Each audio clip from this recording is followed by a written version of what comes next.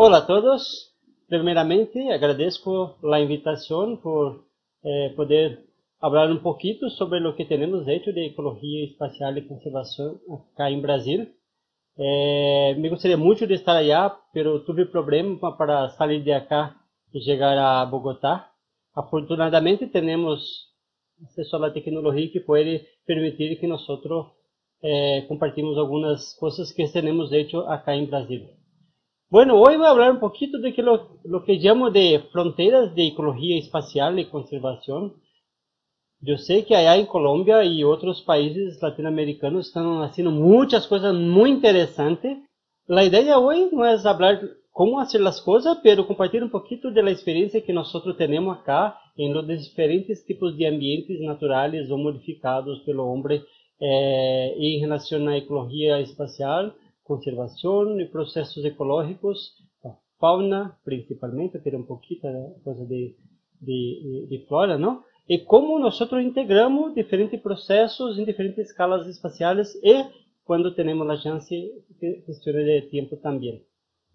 Em los últimos cinco anos, desenvolvemos muita coisa com quatro objetivos principais que estão aí na pantalla desenvolver novos métodos de como coletar dados e monitorar a biodiversidade, desenvolver novas ferramentas e testar métodos para tratamento de dados espacial e também temporal. Estamos fazendo muita coisa de fundamentos de ecologia em geral para diferentes ecossistemas que nós temos acá. E do que eu falo que é o mais difícil, como integrar o conhecimento para uma ecologia aplicada e também para trabalhar com serviços ecossistêmicos, pero também sendo de alguma maneira um melhor balanço entre conservação de biodiversidade e uso de los ambientes e recursos naturais. Bueno, a principal ideia deste eh, projeto que nós desenvolvemos foi como fazer um link entre a biologia de conservação, processos ecológicos, o que fazemos muito en el campo coletamos dados, analizamos dados, pero también trabajar un poquito más con cosas de matemática aplicada a biología y conservación. Voy a hablar un poquito de algunos de los proyectos que nosotros hemos desarrollado en los últimos años, principalmente de eh, fundamentos de ecología en ecosistemas tropicales. Muchas cosas eh, sido desarrolladas para vertebrados, pero também temos muito interesse em vertebrados e agora estou compartilhando um pouquinho de lo que nós temos acá neste estúdio de Felipe Martelo, um doutorado eh, que já se terminou. A ideia se compreender como que os efeitos de borda ou a proximidade de borda adentro de, de ambiente natural ou adentro de la matriz antrópica influencia eh, as hormigas e também os escarabajos, utilizando cerrado ou na savana brasileira como ecossistema natural de referência. Bueno, nós selecionamos 15 paisajes. Paisajes são sítios independentes por lo menos 2 kilómetros. Em cada um destes sistemas, nós temos como se fossem transectos adentrando no sistema natural cerrado e também las matrizes aí pastizales, plantios comerciais de eucaliptos, diferentes espécies de eucalipto, e também caña-de-açúcar, que são muito comuns acá no interior do estado de São Paulo. Bueno, agora vamos ver um pouquinho dos resultados. Nós partimos da ideia que, às vezes, há uma dicotomia entre ambiente natural e matriz, e outras vezes não. Há como se fosse um gradiente. E aí se pode ver de las 15 paisagens, selecionamos apenas duas para eh, apresentar os resultados. E em uma paisagem, nós temos na parte de arriba um mundo como se fosse hábitat e não hábitat. En el hábitat cerrado, a diversidade de escarabajo é maior, eh, pero não há influência da proximidade de borda. E quando se está na matriz, a diversidade é mais baixa, pero eh, também não se vê um gradiente de influência da proximidade que é essa linha no zero. Em outra paisagem, diferentemente, nós podemos ver que há claramente um gradiente saindo do interior de matriz em la direção de, la borda, da borda, eh, cuando se adentra eh, en el cerrado, la diversidad es mayor. O sea, a veces el mundo de los insectos puede ser hábitat y ambiente antrópico o hábitat matriz, y a veces no, un gradiente, y eso es lo que nosotros estábamos buscando responder en parte con este proyecto. Eh, todavía, cuando nosotros cambiamos de escarabajo para hormigas, la cosa se complicó un poquito, porque a veces se puede ser el mundo es hábitat o matriz, o un gradiente saliendo de hábitat para matriz o de matriz para hábitat, pero se puede ver claramente en que la paisaje de arriba, que es en área de pastizal, la diversidad de hormiga se foi maior do que a diversidade de hormiga em cerrado. E quando nós cambiamos para canha de açúcar, que é a paisagem de abaixo, é diferente. A diversidade de hormigas é mais baixa eh, em canha de açúcar e mais alta em los cerrados, pero em ambas situações, o mundo se pode ser tanto hábitat matriz, que são as linhas retas, como também as linhas de traços que ah, ah, o gradiente. En resumen, el mundo se puede ser hábitat matriz o un gradiente y a veces el, la matriz antrópica, dependiendo del tipo de manejo, puede ser mejor o peor para la diversidad. Aunque nosotros estamos tentando hacer muchas cosas con los invertebrados, también tenemos muchas cosas con los vertebrados, principalmente mamíferos y aves, ¿no? Pero también los anfibios y répteis en general. Agora vou apresentar um pouquinho do resultado de maestria de Gabi, a chica que está uh, na foto. Sempre buscamos fazer todo aluno acá, eh, nós casi forçamos que ele tenha sua hipótese gráfica, porque para fazer a hipótese gráfica há que ler muito, há que conhecer bastante coisa de história natural e eh, Gabi propôs isso, que a quantidade de floresta e a conectividade funcional de floresta teria um efeito positivo em la diversidade de, de mamíferos, de vertebrados terrestres, pero que por ser um ambiente mais florestal e outras matrizes não teria tanto efeito de la quantidade de borda. É, como estamos trabalhando com ecologia de paisagem, a unidade básica de nós sempre vai ser a paisagem, e acá temos 20 paisagens. Cada é, círculo deste são uma paisagem distinta, com um ponto central e um buffer de 2 km a partir do ponto central. E pode-se ver claramente em verde a quantidade de bosque cambia de 5% hasta casi 100%. Bueno, Gabi utilizou oito trapacâmeras em cada paisagem. Nós utilizamos eh, em português. Ella dejó por 30 días a las 8 cámaras en cada paisaje y cuando se completaba 30 días sacaba todas las cámaras y llevaba a otra paisaje. Acá hay una ilustración, el punto central está eh, a 2 kilómetros del borde de, del círculo, las trapas siempre en los ambientes de floresta o de bosque, eh, porque si nosotros metemos las cámaras en los pastizales, alguien lo va a robar. E também utilizamos outras informações que coletamos no campo para complementar a informação de trapacâmeras. Como esperado, a quantidade de bosque influenciou positivamente a diversidade ou a riqueza eh, de mamíferos. Miren que nós estamos falando de riqueza parcial, porque eh, como utilizamos trapacâmera, não é esperado que organismos arborícolas sejam registrados nas trapas. Tampouco buscamos poner las trapas cerca de aguas. Entonces, especies que son muy asociadas a agua las sacamos fuera porque estaban más interesados en las especies terrestres, ¿no? Ahora, hablando de, no de comunidad, pero de especies, mire que el eixo X tenemos la cantidad de bosque y la probabilidad de ocurrencia de dos especies. El tapir y también este otro pécari son dos especies que eran muy común em bosque atlântico e agora por caceria e perda de hábitat não teve. Nós podemos ver claramente que abaixo de 40% de eh, bosque, quando temos menos disso, praticamente as espécies são extintas. Ou seja, aunque nós não estamos buscando umbrales, os thresholds em inglês, eh, nós podemos ver claramente que abaixo de 40% a probabilidade de ocorrência dessas espécies é muito baja ou quase inexiste. É interessante que para a mesma região, pero não trabalhando com mamíferos de médio e grande porte, pero sim com os morcélagos, uma outra eh, estudante de nós, Renata Mulaerte, eh, verificou que abaixo de 47% de eh, vegetação natural, de cerrado e floresta, a riqueza eh, decai significativamente.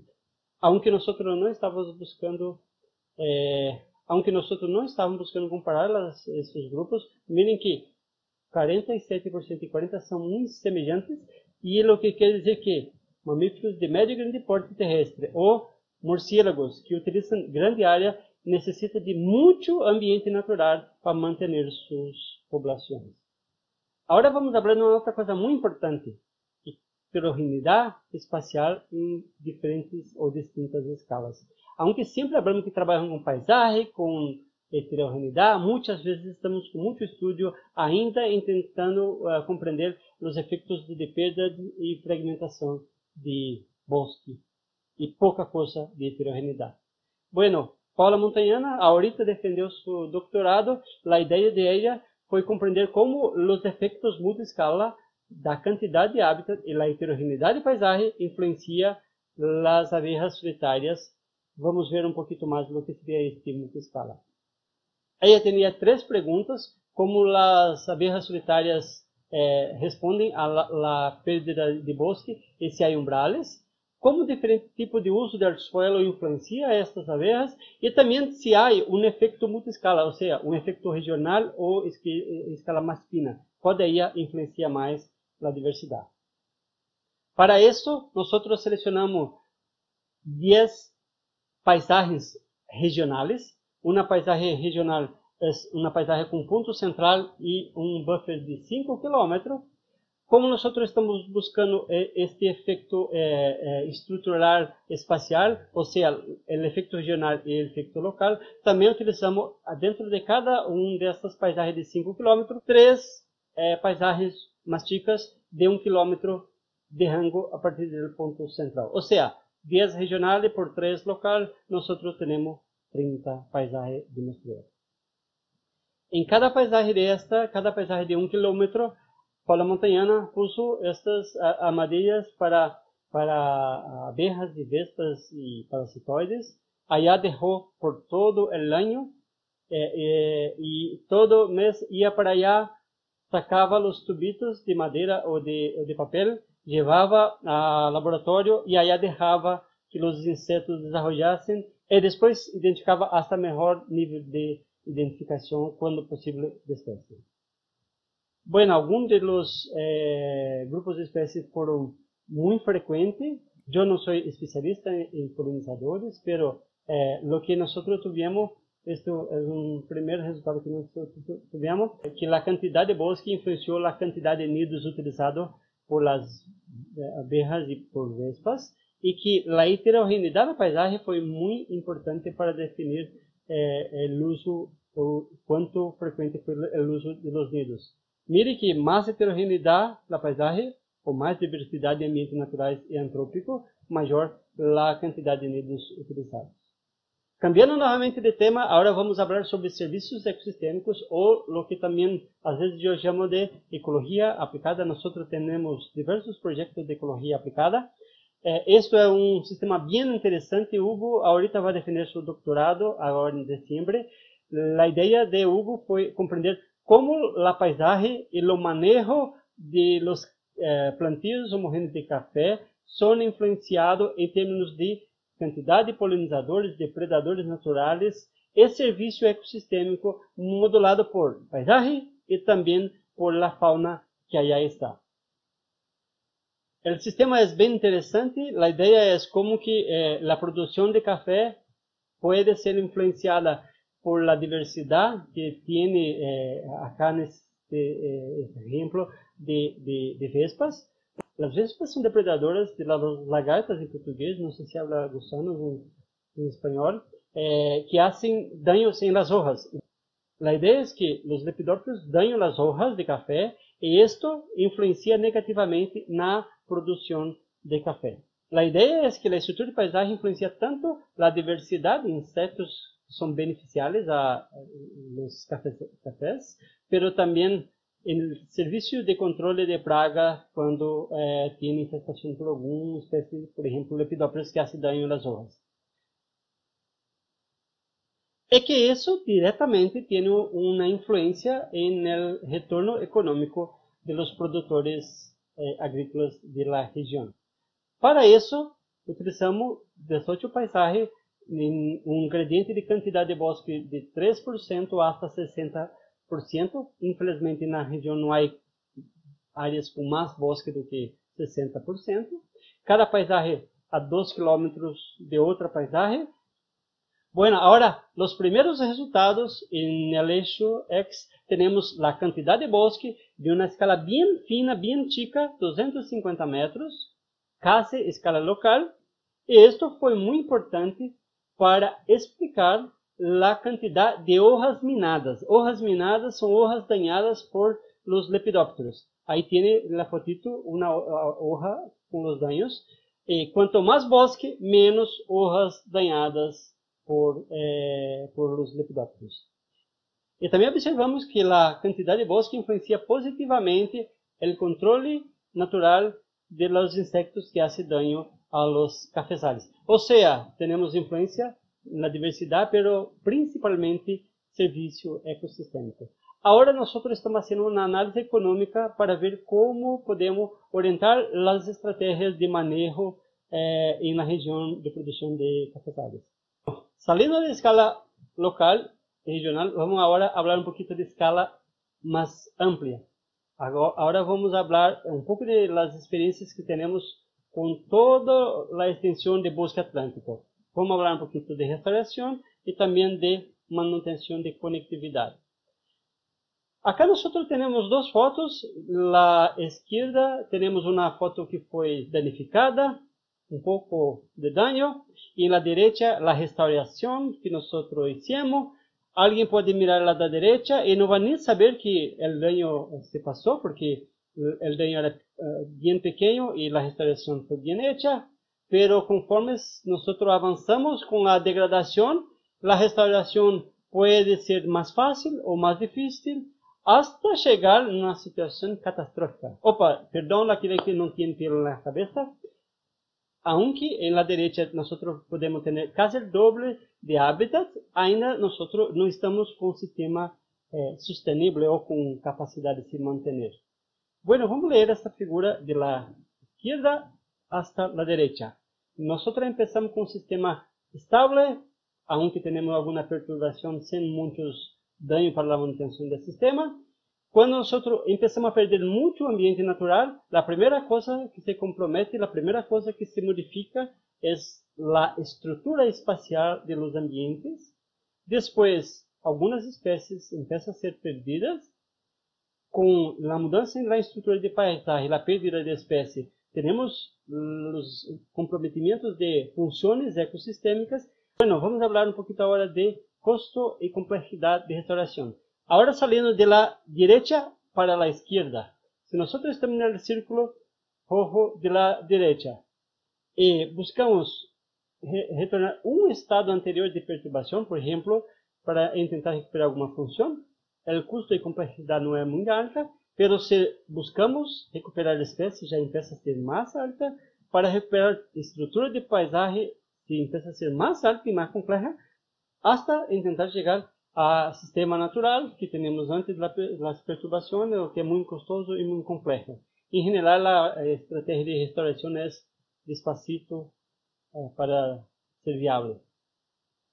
O governo brasileiro nos deixou um desafio para proponer uma estratégia de priorização de áreas de bosque atlântico para manutenção de eh, conectividade regional e também identificar a capacidade de regeneração passiva de los ecossistemas.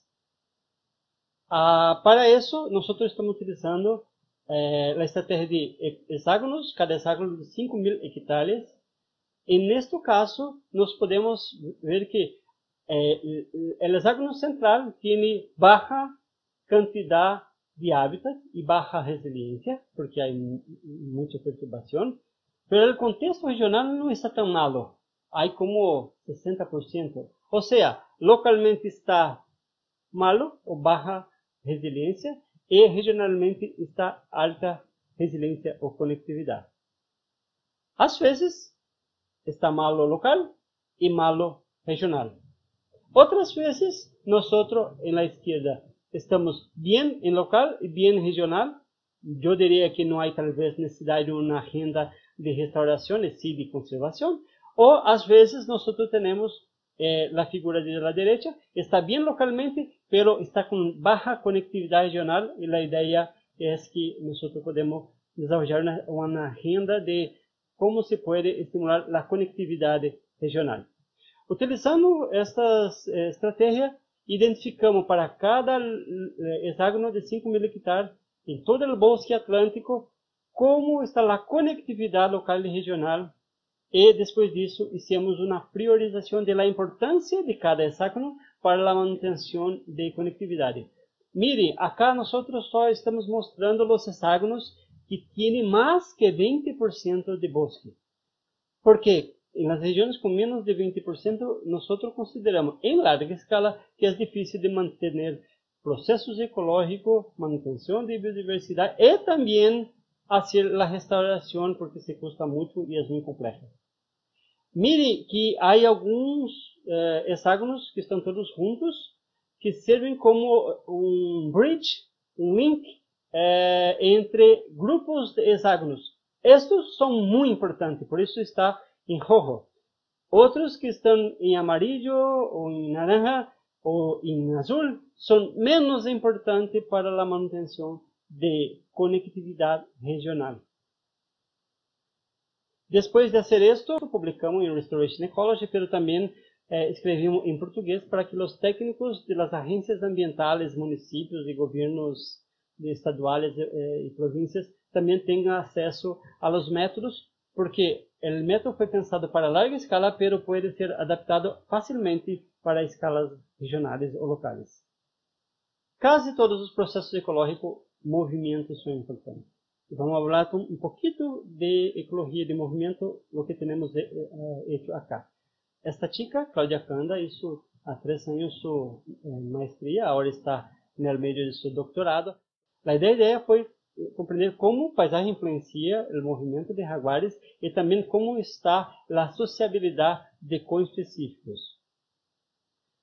Ella desenvolveu uma expectativa teórica bem simples la, en el hecho X tenemos tiempo, en el Y tenemos a sociabilidad. Zero de sociabilidad quiere decir que un individuo ni va lejos y ni va en la dirección de otro coespecífico de jaguar. Nosotros creemos que una hembra con sus cachorros, con sus filhotes en portugués, todo el tiempo evita los otros individuos para evitar que los filhotes não sejam depredados. Os machos também gastam muita energia quando estão em um contato com outro macho, então eles também evitam uma outra. O macho não evita a hembra porque o macho é mais forte e busca a hembra principalmente para acasalar. Há muitos casos de infanticídios de jaguar porque o macho vai a depreda os filhotes e a hembra automaticamente eh, começa a ser receptiva para um novo ciclo reprodutivo. Duas hembras não evitam porque elas estão juntas, mais protegidas de, uh, de machos ou de qualquer eh, peligro. E as hembras, aunque não les guste estar sempre se movendo junto com os machos porque é peligroso, mas quando estão buscando reproduzir, vão ter algum nível de sociabilidade. Agora, esta animação são quatro indivíduos eh, monitorados ao mesmo tempo na mesma região. Eh, pode ver que em negro está o macho, eh, as outras três colores são três hembras. Em rojo é uma hembra com um filhote. Nós temos agora não somente a chance de calcular o âmbito de agar, home range, mas também compreender os mecanismos de movimento e sociabilidade. Ahorita, macho e hembra juntos por um tempo, outras hembras estão utilizando outros espaços. Ou seja, é muito mais informação para compreender questões ecológicas de la relação entre machos, hembras ou às vezes presa e depredador quando temos a chance, não? Falando um pouquinho mais de ecologia de movimento, essa espécie, sabiás em português, os thrushes, eh, eles são importantes porque são buenos eh, eh, dispersores de semillas em ambientes naturais e antrópicos. Eh, nós capturamos com mistnets, ponemos rádio colar para telemetria, monitoramos eles. Fizemos dois grupos de análise. Primeiramente, como está o uso de hábitats e como está o padrão de movimento. Uso de hábitat, nós podemos ver que está havendo uma seleção positiva de bosque, positiva de área urbana e negativa de agricultura. Ou seja, essas espécies les gustam tanto os bosques, pero também les gustam os ambientes urbanos, porque há muito recurso de segurança e capacidade de manter eh, suas populações e reprodução. Agora vamos mirar em la zona de borde, en el.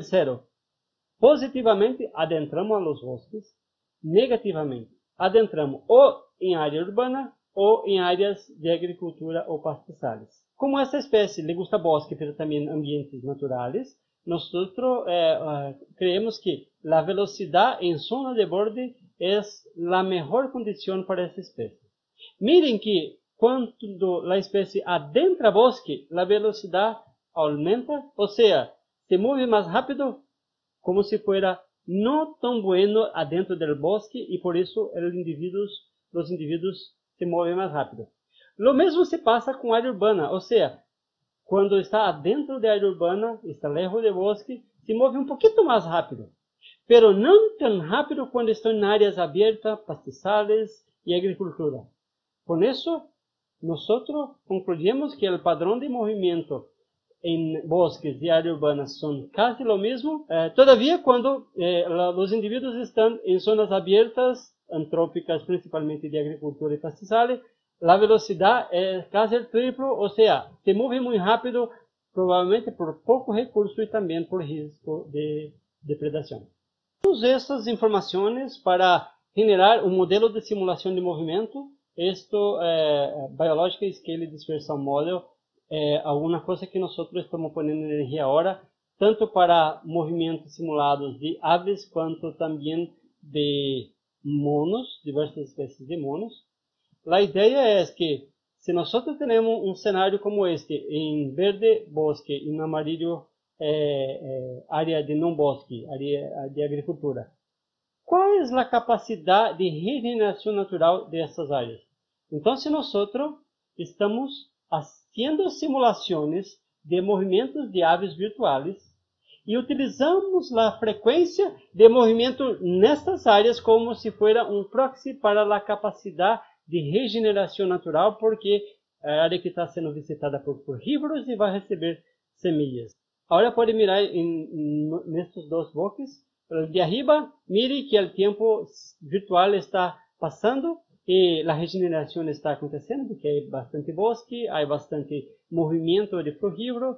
E no box de abaixo, como não tem muitos ambientes naturais e pouco frugívoro, provavelmente a regeneração não é tão boa. Utilizamos esta ferramenta para simular a capacidade de regeneração natural em todo o rango de distribuição de bosque atlântico e os resultados estão chévere, muito interessante.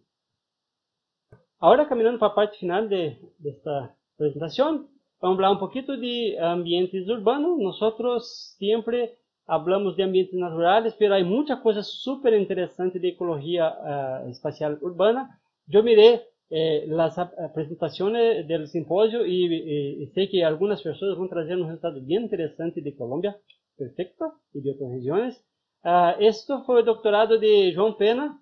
La idea fue comprender cómo los árboles en la área urbana influencia la diversidad de aves, pero también cómo el ruido urban noise uh, también influencia la distribución de aves. Nas expectativas teóricas, na parte de arriba, nós esperávamos que eh, eh, os impactos humanos, a quantidade de gente eh, ia ser muito mais importante o urban noise do que paisagem, pero árbol ia ser muito importante. E na parte de abaixo, a ideia é que a diversidade de aves é negativamente influenciada com impactos humanos e positivamente influenciado com a vegetação urbana e as árvores nas ruas. Selecionamos 60 paisagens, paisagens bem antigas, porque estamos falando de área urbana. Neste caso, eh, em la derecha temos um de las paisajes, o ponto central de mostreo. Em verde eh, mais forte temos eh, árbol. Em verde mais clarito, eh, ambientes abertos, pero sem construção. Eh, e também em los pontos negros são onde temos árbol. Lo que nosotros tuvimos foi que a variável mais importante para explicar a riqueza de aves em ambientes urbanos foi a quantidade de urban noise. Ou seja, todos os sonidos que nós estamos generando na área urbana é muito importante. Quantidade de vegetação urbana e urban trees também foi importante, pero eh, os ruídos ou os sonidos são mais fortes. Acá em Rio Claro, onde nós vivemos, uma região que tem grande eh, potencial para a parte de produção de cerâmica e também mineração de arena para diferentes finalidades.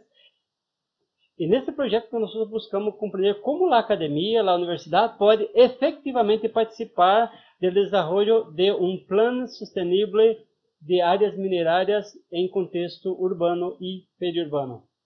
Desenvolvemos um pouquinho de modelo teórico. Acá necessitamos fazer os planeamentos das áreas naturais a ideia foi que, bueno, a sociedade é importante, a economia também, e a prefeitura, o Estado, todos os três têm que, de alguma maneira, eh, estar em contato, interagindo para desenvolver um, um plano que seja melhor para todos.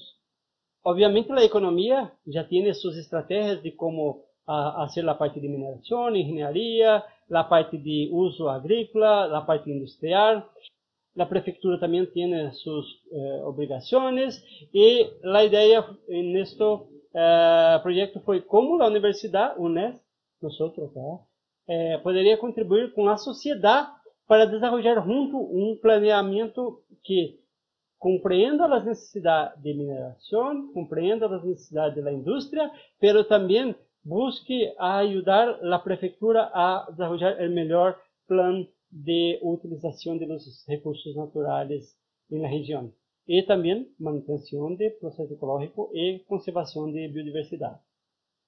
Esto é o município. Nós generamos um plano diretor que buscou, acima de tudo, uma estratégia que seja conciliatória de los de todos. E para isso identificamos as áreas importantes para a conservação de biodiversidade, para a manutenção de recursos hídricos, áreas que são muito importantes para a mineração e buscamos minimizar conflitos de conservação e de uso de los recursos.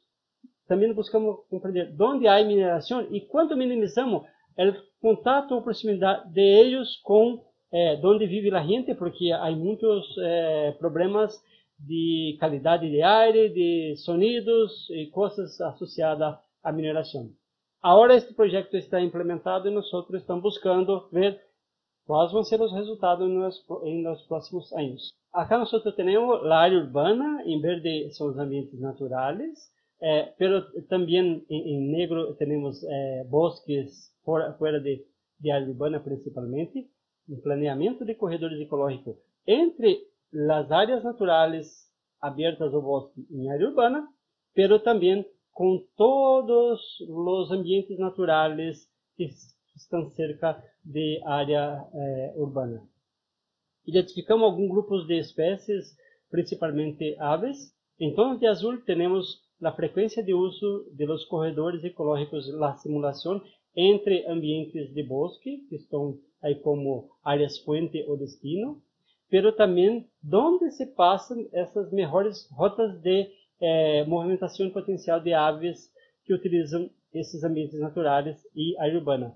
Agora vou cambiar de espécie. Quando nós cambiamos de espécie, se cambia as rotas e há, obviamente, um solapamento entre eles. essas informações estão sendo utilizadas agora para o planejamento sustentável de recursos naturais em área urbana e periurbana de Rio Claro, e isso está junto com o plano diretor do município. Bueno, yo creo que eh, esto es parte de lo que tenemos hecho acá. Eh, tenemos gran interés en las de LiDAR terrestre, LiDAR aéreo, informaciones de radar, informaciones de fluorescencia de vegetación. La idea es avanzar en calidad de hábitats, principalmente en calidad de hábitats, una cosa bien desafiadora, yo creo que acá y mundo afuera queremos avançar em, em como quantificar a qualidade de hábitat e creemos que a estrutura interna de las áreas naturais e a estrutura de las matrizes agrícolas são muito importantes para isso. E para encerrar esta apresentação, em los próximos cinco anos, a ideia é avançar mais em como trabalhar com cambio de uso do suelo, restauração de ambientes naturais e cambio climático. Desenvolvemos cinco é, working packages são grupos de projeto. Cada working package tem dois, três, quatro, hasta dez é, projetos ou subprojetos que são desenvolvidos por os alunos nosotros de maestria, doutorado, hasta postdoc, e também por colaboradores que temos em diferentes regiões. Vou falar bem pouquinho de cada um desses working packages. O primeiro, a ideia é como nós avançamos e compreendemos a parte de fragmentação e heterogeneidade espacial e como isso pode ser utilizado para eh, restauração ecológica. Obviamente, diferentes processos ecológicos, grupos de espécies, diferentes focos de pesquisa em diferentes regiões, diferentes contextos espaciais e temporais. A segunda parte, nós buscamos pôr mais energia em la dinâmica temporal, ou seja, como que se estão os cambios de paisagem, os cambios de uso do suelo o cambio de ambientes naturales para agrícola e que influência isso tem para serviços ecossistêmicos, para processos ecológicos, para processos eh, ecossistêmicos e também para manutenção de biodiversidade em geral. No terceiro Working Package, a ideia é poner mais energia em los serviços ecossistêmicos e também em la ecologia aplicada. Eu creio que agora estamos começando a estar é, melhor preparado para efetivamente trabalhar e quantificar serviços ecossistêmicos e depois entrar na fase de é, poner valores econômicos para isso, porque se não põe a plata, nadie já vem conta.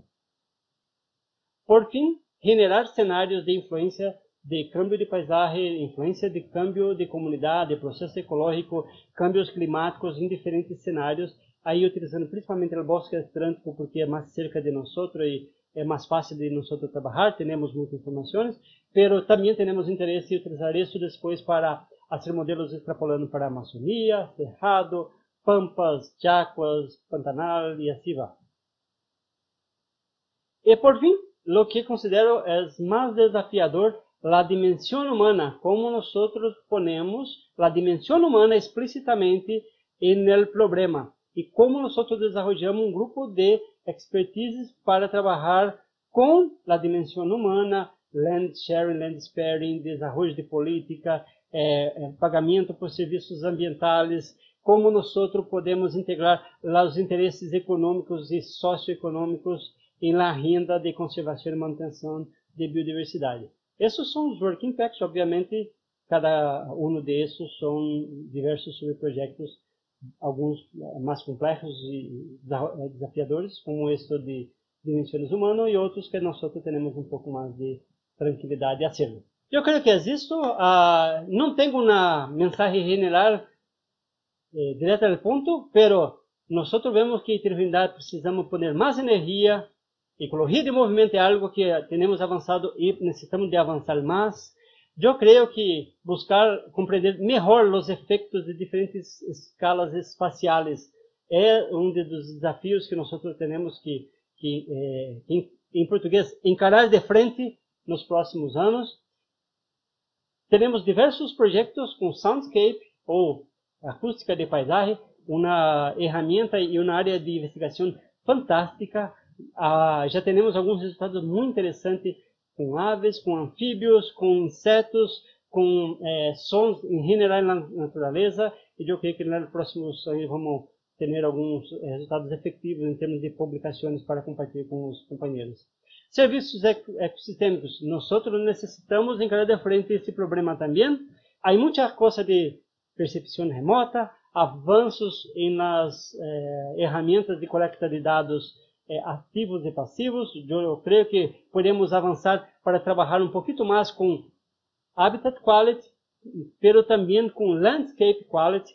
Alguns amigos de nós que estão trabalhando com foodscape, que é, é compreender para diferentes demandas de organismos, inclusive o homem e especialmente a distribuição ou a potencial de produção de recursos alimentares em diferentes contextos espaciais.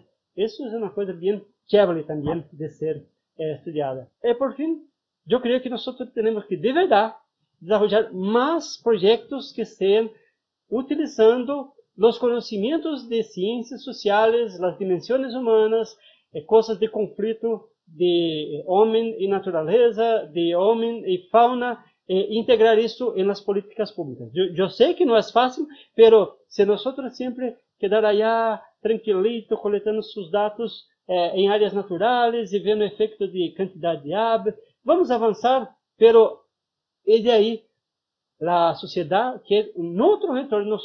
E eu creio que juntos conseguimos desenvolver muitas coisas eh, interessantes para a sociedade. E, desenvolvendo coisas interessantes para a sociedade, eles vão utilizar com muito mais frequência.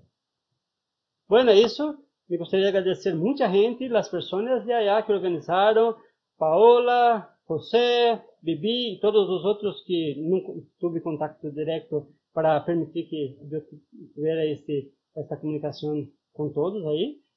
E do lado de cá, é, no laboratório de nós há muitos parceiros que estão distribuídos em diferentes instituições de São Paulo, de outras regiões e também de fora do Brasil, pero muito de lo que tem sido desenvolvido são eh, por conta de los alunos de eh, undergrad, de, de maestria, doutorado, postdoc, eles que fazem a coisa acontecer.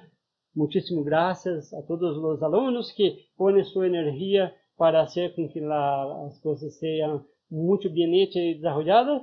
Bueno, e família para mim é tudo. Bibi, que estuda cá por alguns meses, interagiu com nós outros, sabe que me, me gusta muito o trabalho, eu amo meu trabalho, mas não vivo sem minha família, minha família é a base de sustentação de toda a minha energia, e também, obviamente, capoeira, me gusta muito capoeira, eu queria muito triste porque já tinha todo um roteiro de, de, de, de visitações de amigos de capoeira aí em Bogotá. Bueno, vai quedar para outra, outra fecha. Bueno, é isso. E para finalizar, eu sempre abro com meus alunos e companheiros, é, trabalhem, estudem, coletem dados, analisem, publiquem mil papers, um paper nasais por ano, pero tenham vida, vivam fora da universidade, tenham coisas que te dão prazer. Aqui nesta foto eu estou jogando capoeira com Camilo, é, meu primeiro filho. É, isto é uma coisa que é, é importante para mim, me gusta cantar, me gusta é, bailar, me gusta todo. E me gusta ecologia, paisagem e conservação também. Graças a todos. Qualquer coisa, me escrevam. Tchau.